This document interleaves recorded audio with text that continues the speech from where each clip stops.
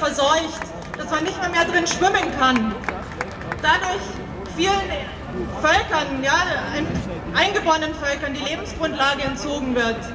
Dass Menschen, die wegen Nahrungsspekulationen unserer Marktwirtschaft hungern müssen, die nicht mehr trinken können, weil Nestle auf der ganzen Welt Quellen kauft. Ja?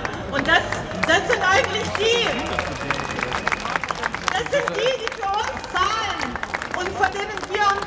Haupt verneigen sollten, voller Demut und danken, ja, dass sie, ich habe auch eins, unsere billigen iPhones produzieren, von H&M unsere billigen T-Shirts, ja, dass die, die bei uns kein Geld haben, sich auch noch überhaupt was leisten können, ja, die für nichts zum Arbeiten gehen, die umkippen, weil irgendwelche Chemikalien freigesetzt werden in den Firmen. Und das sind eigentlich die. Und es heißt ja immer genug für alle und empört euch. Und es empört mich, dass wir vergessen, dass genug für alle bedeutet. Sechs Milliarden Menschen. Sechs Milliarden Menschen auf diesem Planeten, von denen der Großteil hungert und nicht weiß, nicht weiß, wo er seine nächste Jeans kaufen soll, sondern nicht weiß, wo er morgen oder heute Abend was zu essen herkriegt. Und ich finde, wir sollten uns alle mal daran erinnern.